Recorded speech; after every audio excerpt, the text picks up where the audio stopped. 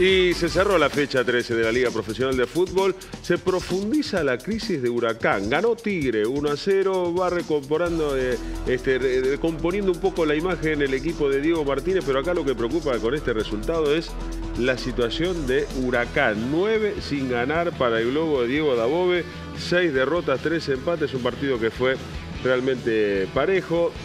Eh, si había que marcar un ganador, puede ser Tigre. Aquí un cabezazo de Badalón y queda con el hombro. Afuera Rete y afuera Prediger los extraña. Eh, pero de todas maneras el equipo eh, tuvo una, buena actuación. Este pase de Colidio es extraordinario. La definición de el, paraguayo Armoa. Pero la jugada en sí es extraordinaria. ¿Por qué? Porque Blondel recupera en el fondo, no la tira, acá estamos viendo el tramo final de la jugada, recibe eh, Badalón y entrega Colidio al pase profundo y Armoa definiendo al gol.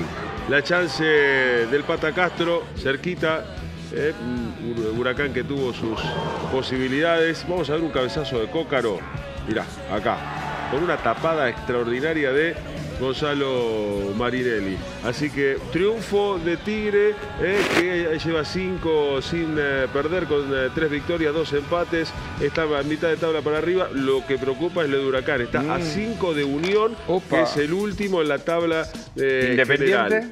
Independiente está dos, Independiente está peor que, Huracán, pero Huracán había hecho un gran año pasado mm. con Diego Dabove. y arrancó bien también este año. Claro, y casi con el mismo plantel ahora no le dan los resultados, pero habló Dabove, dijo voy a preparar el partido para Arsenal del próximo viernes, así que desestimó cualquier posibilidad de salida. Y del cierre del fútbol argentino nos vamos a esta situación que este, si lo miramos jocosamente, es particular por cómo entraron los barras del Corinthians, pero es gravísimo. A ver. Porque acá, fíjate los, los barras del Quiero Corinthians. Quiero ver lo jocoso del tema. Desde cómo vienen caminando, casi como una escena cinematográfica. estos son, ponerle, la música del padrino, claro, de mínima. Pero mirá este, cómo vienen caminando, cruzando el campo. Yo le voy a poner un contexto a todo esto. Viene de perder contra el Goiás.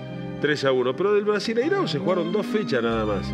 Y en la primera fecha le ganó el Cruzeiro. Así que dos partidos. Uno ganado, uno perdido. Ahí está, mirá.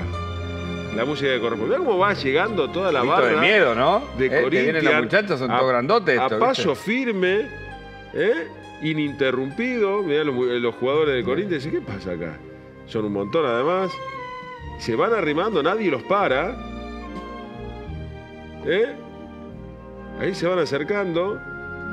Perdieron frente a Argentinos Juniors, sí, de local sí, pero habían ganado contra el Liverpool de Uruguay en la primera fecha de Libertadores. Es decir, eh, recién empiezan las competencias importantes, no pudo ganar el Paulista. Claro. Digo, pero el brasileño ganó uno, perdió uno, en la Copa Libertadores ganó uno, perdió uno. Se sientan a, la, mesa. ¿eh? Y ahí los tipos, mirá, evidentemente debe haber alguna cuestión que no conocemos extra deportiva. No me alcanza con la situación de los resultados, pero es una eh, escena grave. Intimidatoria. Absolutamente. Miedo.